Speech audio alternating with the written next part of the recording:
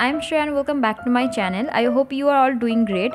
तो दो दिन बाद ही होली है एंड होली खेलना किसे ना पसंद है पर्सनली मुझे बहुत पसंद है होली खेलना, लेकिन हम जो कलर्स बाहर से खरीदते हैं, उनमें केमिकल्स होते हैं, जिसके कारण हमारे स्किन पे रैशेस और इरिटेशंस होते हैं इसलिए आज हम घर पर ही नेचुरल कलर्स बनाएँगे, वो भी कुछ ही इंग्रेडिएंट्स से, जो आपको इजीली घर पर मिल जाएँगे मैं तीन अलग अलग चीज़ों से कलर बनाने वाली हूँ। पहले हम बनाएँगे ऑरेंज कलर जिसके लिए हमें चाहिए ऑरेंज मेरीगोल्ड फूलों को अच्छे से धो के इसका जो ग्रीन हिस्सा है, उसे हम अलग कर लेंगे।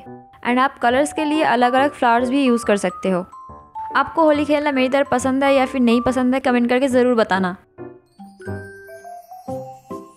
अब एक पतीले में थोड़ा सा पानी और फूल डालकर कुछ देर के लिए उबाल लेंगे, ताकि फूल का जो कलर है, वो पानी के साथ मिक्स हो जाए।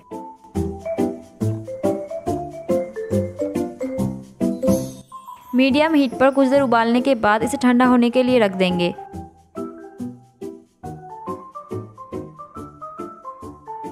ये रहा हमारा मेन इंग्रेडिएंट जिससे हम गुलाल बनाएँगे।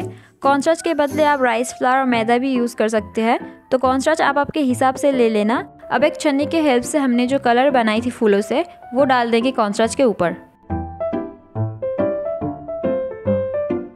अब हाथों से इसे मिक्स कर लेंगे। बट मिक्स करने से पहले अपने दोनों हाथों को अच्छे से वॉश कर ले या फिर ग्लव्स पहन के मिक्स करें।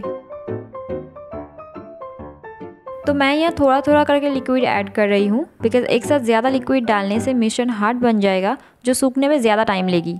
एंड गाइस याद रखना हम नेचुरल चीज़ों से कलर्स बना रहे हैं तो शायद उतना ब्राइट कलर्स हमें ना मिले बट ये हमारे स्किन के लिए बिल्कुल सेफ़ है। एंड इसमें आप दो बूंद गुलाब जल ऐड कर सकते हैं स्मेल के लिए, अगर आप चाहे तो बट मेरे पास नहीं था तो इसलिए मैंने स्किप कर दी। अब इस मिश्रण को अच्छे से मिक्स करने के बाद कुछ देर सूखने के लिए रख देंगे। तब तक हम येलो कलर बना लेते हैं एंड येलो कलर बनाने के लिए मैं टर्मरिक यूज़ कर रही हूँ। अब एक छोटा सा बोल में थोड़ा सा पानी और टर्मरिक डाल के इसे मिक्स कर लेंगे। आप आपके हिसाब से पानी और टर्मरिक डालना जितना आपको चाहिए। आप इसके बदले रॉ टर्मरिक को पीस के उसका जो लिक्विड है, आप वो ले सकते हैं। एंड इसे भी हम कॉन्स्टार्च के साथ अच्छे से मिक्स करके सूखने के लिए रख देंगे। अगर आपके घर पर फ़ूड कलर्स अवेलेबल है तो आप उसे ब्राइट कलर्स बना सकते हैं। एंड बिकॉज़ हम खाने में फ़ूड कलर यूज़ करते हैं तो इसलिए वो हार्मफुल नहीं होगा फेस के लिए।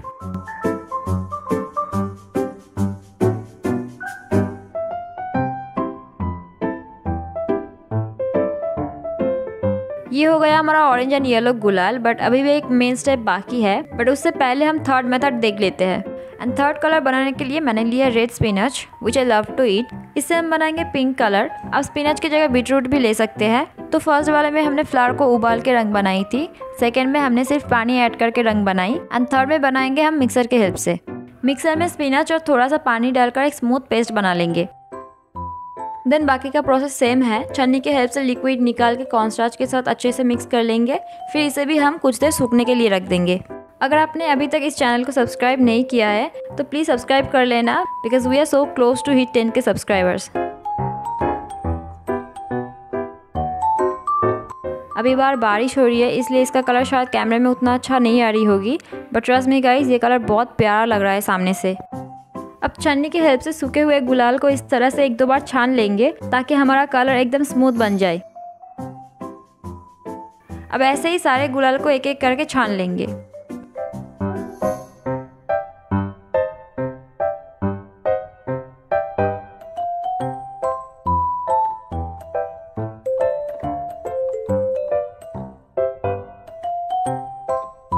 गुलाल को स्टोर करने के लिए ऐसे एयर टाइट कंटेनर में रख दीजिए एंड दैट सीट आपका होम मेड गुलाल बिल्कुल रेडी है खेलने के लिए।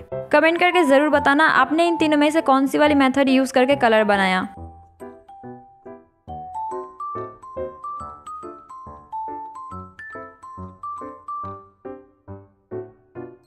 I hope you guys learn how to make this gulal at home and wishing you all a very happy Holi in advance everyone that's it for today see in the next video thanks for watching